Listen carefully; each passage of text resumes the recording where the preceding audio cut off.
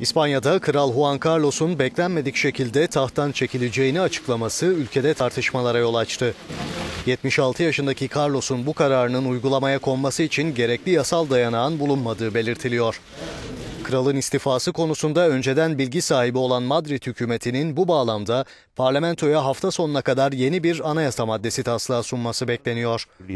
İspanya'da kralın adını taşıyan Carlos Üniversitesi'nden bir anayasa profesörü de tahtın devri için yeni yasanın yürürlüğe girmesinin beklenmesi gerektiğine vurgu yapıyor. del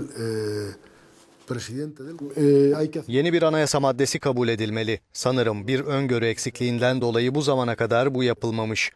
İmpre- Fakat tahtın intikalinin normal şartlarda haktan feragat edilmesi şeklinde değil, doğal sebepler neticesinde olduğu doğru. Sonuç olarak hükümet bu yasayı çıkarmak ve parlamentonun iki kanadı olan meclis ve senatodan geçirmek durumunda. Son dönemde kraliyet ailesinin karıştığı yolsuzluk iddiaları nedeniyle eleştiri oklarını üzerine çeken Juan Carlos'un yerine 45 yaşındaki oğlu Prens Felipe geçecek.